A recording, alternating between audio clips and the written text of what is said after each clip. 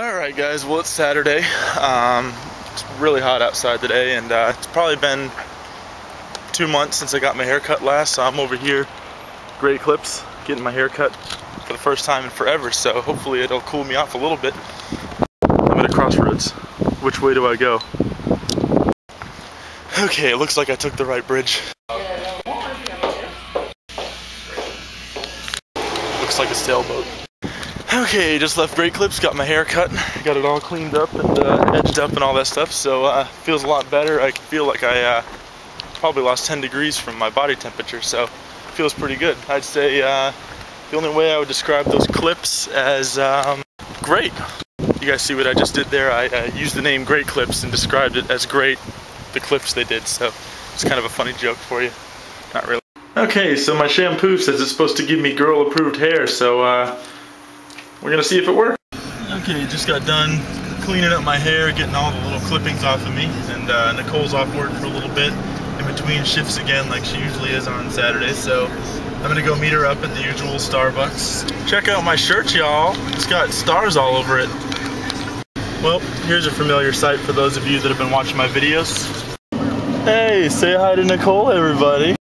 It's funny how they're telling me that I saved 50 cents when I actually spent 874. Yum. Okay, let's see if it works. Do you approve of my hair? I approve of your hair. Guess it works. Okay, so these people, she just fell on her bike and uh, she ended up being okay. I ran out there and helped her, did my good for deed for the day, but uh, when I asked her if she was okay, she was more mad that she'd spilled her coffee than she actually was that she wrecked on her bike. It was, it was it's pretty good, pretty funny. But the wonderful people here at Starbucks gave her a new cup of coffee and made her day better. So I'm pretty sure she's gonna be fine. And everybody's fine. Off they go. You know what that is? It's Burn Notice Season 4, and I still haven't got to watch it yet. But hopefully, if Nicole gets off work early enough tonight, we'll be able to actually watch it finally.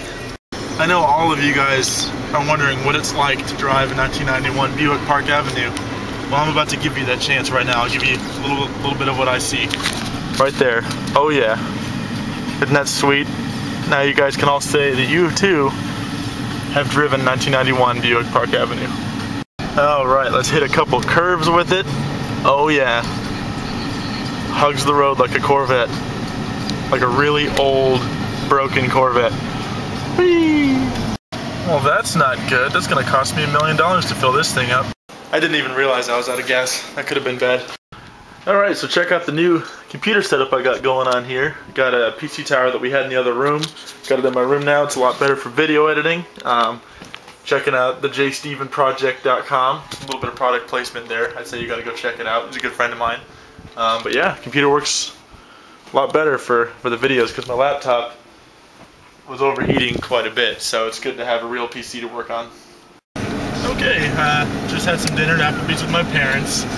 Um, brought my camera, but I forgot a battery, so uh, didn't really do much good to bring a camera. Uh, but I'm stopping at the bank now. Uh, I got to deposit some cash into my account, and then uh, gotta go over and get some gas in my car.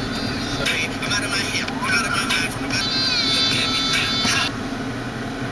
My turn.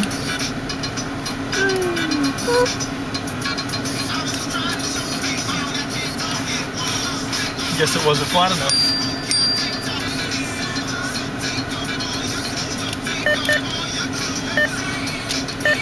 Money in the bank. I don't know. Are we gonna make it to the gas station? Not really sure. Pretty empty. Let's see how much gas 15 bucks is gonna get me. Alright, there's a before. Alright, and there's the after. 15 bucks doesn't really get you that much gas when it's at 350 a gallon, so uh, I guess I'll have to deal with it. Back at the crib. Alright, well it's almost 9.30 at night. Um, I'm headed over to Nicole's house now. We're going to make some lunch for tomorrow for my dad. Um, we're going to make some kind of Cajun chicken and some rice to go with it and some corn for the side. And uh, my sister and her husband are going to make uh, make dessert to go with it. So, uh, you know, we'll hang out with him and he, he should he should enjoy it. It'll be good.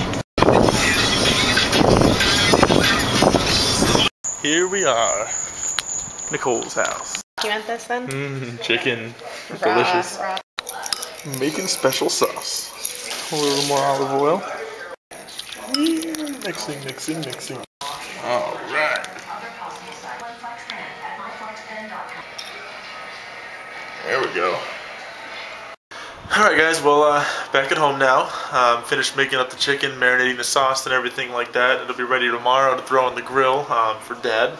Um, here at home now editing today's video, so it'll be posted later tonight, uh, probably tomorrow morning. And uh, that's it, so I'm going to wrap it up, call it a day, and I'll talk to you guys tomorrow.